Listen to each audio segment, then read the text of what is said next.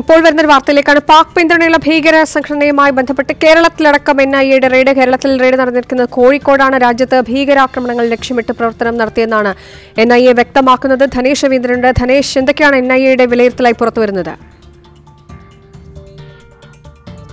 കഴിഞ്ഞ വർഷം ജൂലൈയിലാണ് അഹമ്മദ് ദാനിഷ് എന്നുള്ളൊരു വ്യക്തിയെ പാറ്റ്ന ബീഹാർ പോലീസ് അറസ്റ്റ് ചെയ്യുന്നത്. ഈ വ്യക്തിയെ കേന്ദ്രീകരിച്ചുള്ള ഒരു അന്വേഷണം ഗസുബ ഇ ഹിന്ദ് എന്ന പാകിസ്ഥാൻ പിന്തുണയോടെ പ്രവർത്തിക്കുന്ന ഒരു സംഘടനയിലേക്ക് എത്തിച്ചേരുകയായിരുന്നു. പിന്നീട് ഈ അന്വേഷണം എൻ ഐ എ ഏറ്റെടുക്കുകയും എൻ ഐ ഇത് സംബന്ധിച്ചൊരു കുറ്റപത്രം ഈ വ്യക്തിക്കെതിരെ സമർപ്പിക്കുകയും ചെയ്തിരുന്നു. ഏതായാലും രാജ്യത്തെ വിവിധ ഭാഗങ്ങളിൽ യുവാക്കളെ അടക്കം റിക്രൂട്ട് ചെയ്തുകൊണ്ട് നവമാധ്യമങ്ങളുടെ ഗ്രൂപ്പുകൾ ഉണ്ടാക്കി രാജ്യത്തിന്റെ വിവിധ ഭാഗങ്ങളിൽ ബോംബ് സ്ഫോടനങ്ങളും ഭീകരാക്രമണവും ലക്ഷ്യമിട്ട ഒരു സംഘടനയാണ് ഈ ഗസബ ഹിന്ദ് എന്നുള്ള കാര്യമാണ് എൻ ഐ എ കണ്ടെത്തലായി പുറത്തു വന്നിരിക്കുന്നത്. ഇതുമായി ബന്ധപ്പെട്ടാണ് കോഴിക്കോടടക്കം സംസ്ഥാനത്ത് ക്ഷമിക്കണം രാജ്യത്തെ നാല് ഇടങ്ങളിൽ പരിശോധന നടത്തിയത്. കേരളത്തിൽ കോഴിക്കോട് ജില്ലയിലെ ചില സ്ഥലങ്ങളിൽ പരിശോധന നടത്തി എന്നുള്ള കാര്യമാണ് എൻ ഐ എ വ്യക്തമാക്കുന്നത്. ഒപ്പം തന്നെ യു പി ഗുജറാത്ത് മധ്യപ്രദേശ് സംസ്ഥാനങ്ങളിലും ഇത് സംബന്ധിച്ചുള്ള പരിശോധന നടത്തിയിട്ടുണ്ട്. ഇത് സംബന്ധിച്ചുള്ള അന്വേഷണം കൂടുതൽ ഊർജിതമാക്കുകയാണ് എൻ ഐ എ ഇതിന്റെ ഭാഗമായിട്ടാണ് ഇത്തരത്തിൽ പരിശോധനയിലേക്ക് നീങ്ങിയത്. ഈ സംഘടനയുമായി ബന്ധമുണ്ട് എന്ന് കരുതുന്ന വ്യക്തികളുടെ വീടുകളിലും മറ്റ് സ്ഥലങ്ങളിലുമാണ് കേരളത്തിൽ പരിശോധന നടത്തിയതെന്നുള്ള കാര്യമാണ് എൻ ഐയുടെ വാർത്താക്കുറിപ്പിൽ നിന്ന്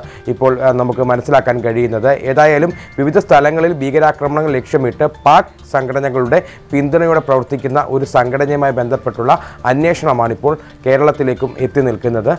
ശീതൾ ശരി ധനേഷാണ് വിശദാംശങ്ങൾ നൽകിയത്.